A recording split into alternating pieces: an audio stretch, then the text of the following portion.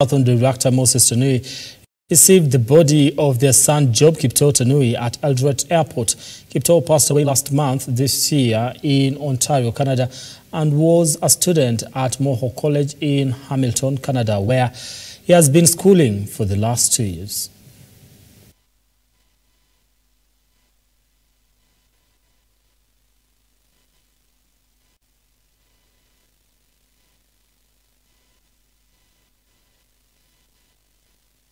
You